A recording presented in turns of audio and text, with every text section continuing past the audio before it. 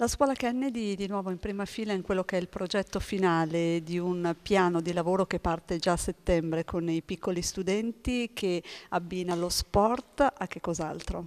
Ha tantissime iniziative, tutte quelle che riguardano lo star bene con se stessi ed altri, per esempio un laboratorio sul bullismo, anzi la prevenzione al bullismo, differenziato, esteso dai bambini dalla prima classe fino alla quinta classe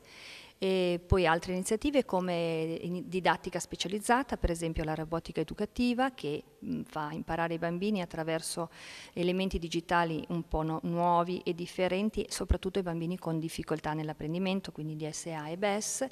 e poi altre iniziative legate a cose che sono uscite durante l'anno, per esempio il progetto Sport a Scuola che ci è stato dato a dicembre, che lavora molto sul fair play, che è una parola un po' difficile ma che dovrebbe significare lavorare secondo le regole nel massimo rispetto degli altri. Tutto questo culminerà in una giornata di sport e non solo il 17 di maggio. Sì, il 17 maggio siamo fuori dalla scuola, nella via San Francesco, poi siamo all'interno della scuola, nella palestra e nel CTI, che è il centro territoriale per l'inclusione, poi usciamo nei nostri spazi sportivi esterni. In orario scolastico, quindi dalle 9 alle 12.30, la mattina abbiamo la scuola dell'infanzia Domodossola, Trontano e Cosasca, le scuole del Rosmini e le nostre prime e seconde, il pomeriggio abbiamo tutta la scuola media statale, poi Rosmini ancora e poi abbiamo terza, quarta e quinta e sempre plessi di Trontano e Cosasca, più i grandi del liceo del nostro Rosmini che sono una parte integrante, li abbiamo formati durante l'anno collaborando con la preside, con l'insegnante Carlotta di educazione fisica.